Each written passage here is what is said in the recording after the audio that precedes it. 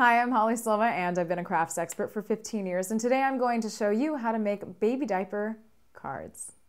So here I have a piece of embellishment paper that I got in this really cool little binder thing for like six bucks at a stationery store and it's lasted me a really long time. So I'm just going to cut diagonally from edge to edge making sure that it's as straight as possible. It doesn't have to be exact, but now you're gonna be able to make two with one piece, so you're saving there. Okay, so now what we're going to do is take one corner over and fold it in just like so. You're gonna take the other corner over and fold it just the same.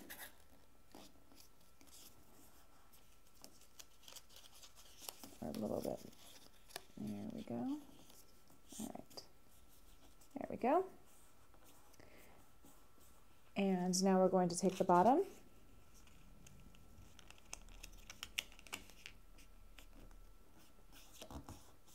fold it there, and then we're going to take the top edge here and tuck it into over both of the side flaps. Like that. All right.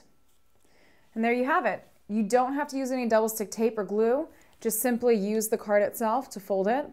And now when you open it up, you have a cool little area here to write.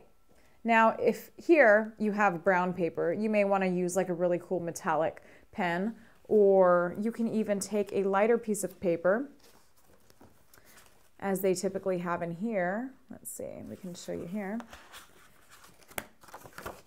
Take a lighter piece of paper and just cut it out and place it inside and write it like that. And that is how you make baby diaper cards. See you next time.